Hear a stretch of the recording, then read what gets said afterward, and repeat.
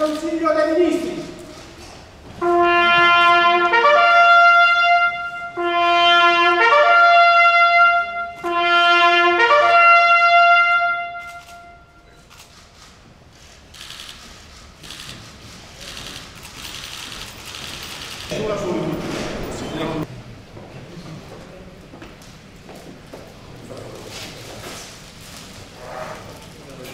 Questa